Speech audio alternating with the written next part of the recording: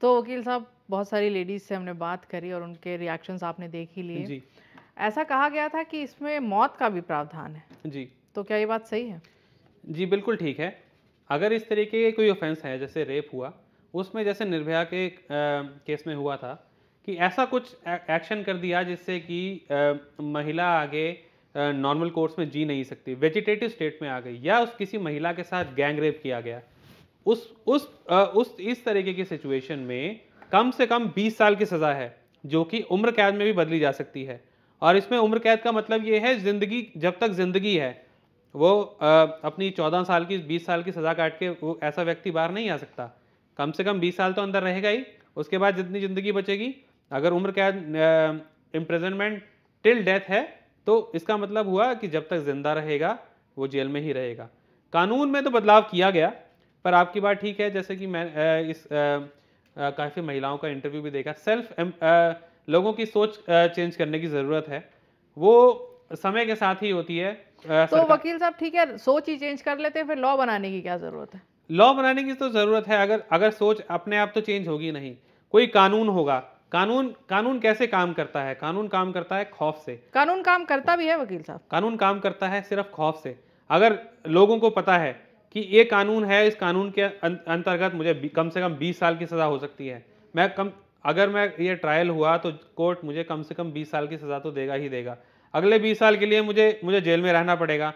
आज एक इंसिडेंट मैंने कर दिया और उसकी सज़ा मैं 20 साल तक सहूँगा। वकील साहब वो तब होगा ना जब ऐसा कुछ होगा। आप मुझे बताइए जब से ये लॉ पास हुआ है क्रिमिनल लॉ अमेंडमेंट एक्ट। 2013 आया तब से लेकर अब तक क्या किसी को भी इस मामले में फांसी हुई है? फांसी तो नहीं हुई। हाँ ज़रूर फा, फास्ट ट्रैक ज़रूर हुए हैं। इसमें इस कानून में प्रोविजंस थे जिसमें कि अगर कोई रेप रेप की घटना होती है तो चार्जशीट फ़ाइल होने के अंदर के अंदर, के दो महीने के अंदर अंदर ट्रायल कंप्लीट होना चाहिए। अभी पीछे जो निर्भया कांड वाला केस था, वो भी केस काफ़ी जल्दी डिसाइड हुआ। एक एक ऐसा इंसिडेंट भी था नेशनल लॉ स्कूल बेंगलोर की एक छात्रा के साथ गैंग रेप हुआ था।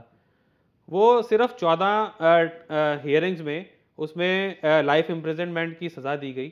फास्ट ट्रैक ज़रूर हुए हैं कानून की इम्प्लीमेंटेशन ज़रूर हो रही है। जहाँ तक मौत सजाए मौत का सवाल है सुप्रीम कोर्ट की क्लियर डायरेक्शंस है जहाँ रेयरेस्ट ऑफ़ रेयर केस है। उसमें ही डेथ पेनल्टी दी जाती है।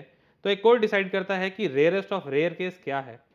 तो रेयरेस्ट ऑफ़ रेयर केस में क्या आता है? आप क्या चाहते हैं कि बलात्कार से भी ज़्यादा कुछ ऐसा हो जाए तब इसको फांसी दी जाए? या सिर्फ़ इतना ही सफिशियंट है कि एक लड़की के साथ बलात्कार हुआ है?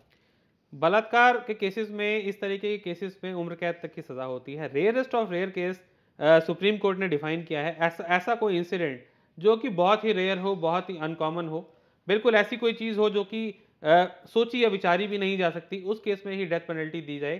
क्योंकि ऐसा है कि यूनाइटेड नेशंस और और भी काफ़ी कंट्रीज़ की कुछ ट्रीटीज़ हैं ह्यूमन राइट्स के अगेंस्ट कि किसी को डेथ पेनल्टी ना दी जाए।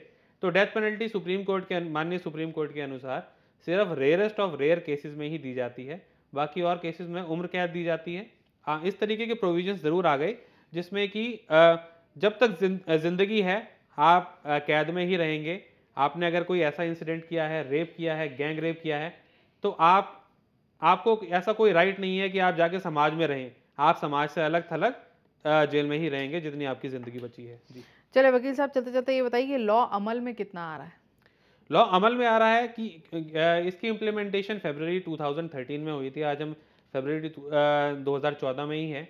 साल हो गया है। अमल में इसलिए आ रहा है। अब काफ़ी जो इसमें अमेंडमेंट्स हुई थी वो इन्फोर्स हो रही हैं। जैसे कि मैं आपको बताता हूँ, एक ज़ीरो एफआईआर का प्रोविज़न आ गया। पहले क्या होता था कि पुलिस एफआईआर नहीं लिखती थी, कहती थी हमारे जुरिस्डिक्शन में ये मैटर नहीं है।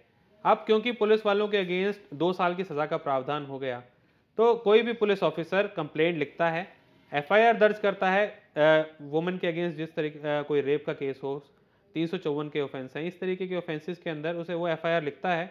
और दूसरी, जो कंसर्न टेरिटरी होती है, उस जुरिस्डिक्शन के पुलिस थाने को भेज देता है। ये एग्जांपल जो है, पीछे एक किसी कॉर्पोरेट हाउस में भी देखा गया कि दिल्ली में एफआईआर करवाई गई और उसकी जुरिस्डिक्शन गुड़गांव कोर्ट थी। आसाराम जी के केस में भी जो बच्ची थी, उसने कंप्लेंट दिल्ली में लिखवाई। ऑफेंस राजस्थान में हुआ था ट्रायल राजस्थान में ही चल रहा है।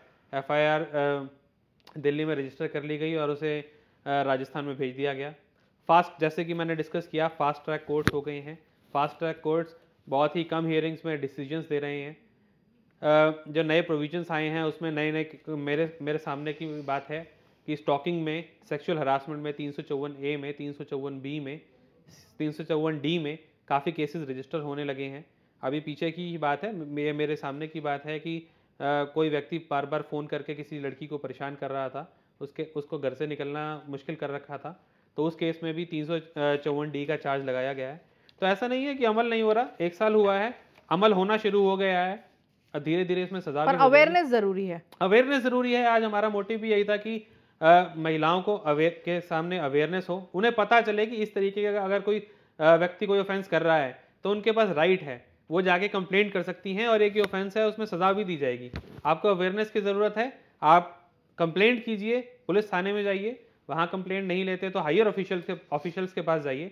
और जैसे कि मैं हमेशा कहता हूँ, अगर कहीं पुलिस में सुनवाई नहीं भी है तो आप डायरेक्ट कोर्ट में आगे क्रिमिनल कंप्लेंट भी फ़ाइल कर सकते हैं। लीगल सर्विसेज़ अथॉरिटी की सहायता ले सकती हैं। उसमें आपको फ्री में एक महिला वकील की सहायता दी जाएगी महिलाओं को इस तरीके के कंप्लेंट्स के लिए। डायरेक्ट क्रिमिनल कंप्लेंट फ़ाइल कर सकते हैं कोर्ट में।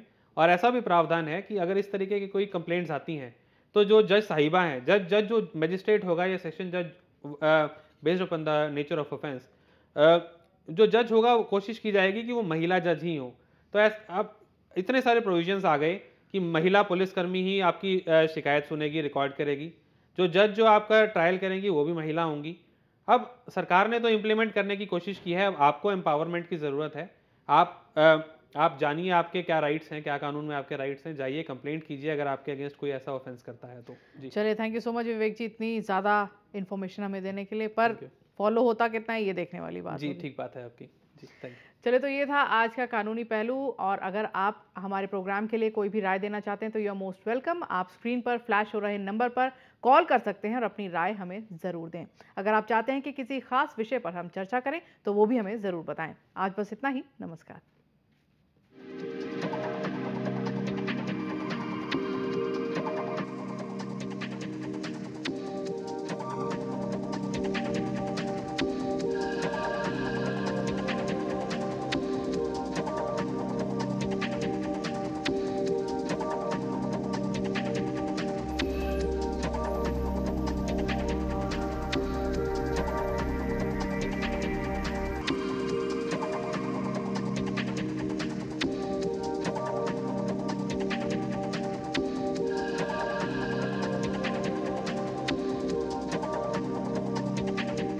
ਕਿਸਾਨ ਭਰਾਵਾਂ ਦੀ ਬੱਲੇ ਬੱਲੇ। ਹੁਣ ਹਰ ਤਰ੍ਹਾਂ ਦੀਆਂ ਫਸਲਾਂ, ਫਲ ਤੇ ਸਬਜ਼ੀਆਂ ਦੇ ਲਈ